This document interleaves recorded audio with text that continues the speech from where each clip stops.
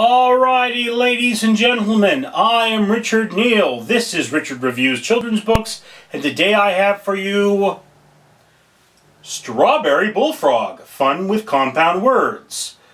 That is by Laura Hambleton and Sedat Turhan. And this is a Milet Wordwise book. Yes, okay.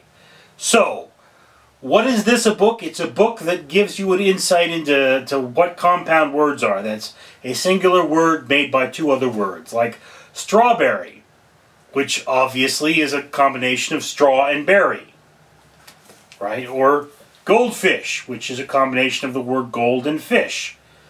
And it gives you some understanding into how these words work and the fact that just because the two words are connected doesn't mean that they they are the sum of their parts. And I like that. This is a fun book. The illustrations are are interesting. I mean, you know, a watchdog. Yeah. You know, uh, well, okay. It's a dog. They got a dog with a watch there, but it doesn't doesn't really explain what a watchdog is. So there are goods and bads about this book. If you're looking to have fun this is a book with bright colors and interesting imagery, and children, I think, will enjoy this book. You know your child, I don't, but a lot of children will probably enjoy this book. It's one of those books that is designed to enjoy, and it gives you a little bit of education along the way. There's no story here, but that's what it does. Now, I have to say, a better job could have been done.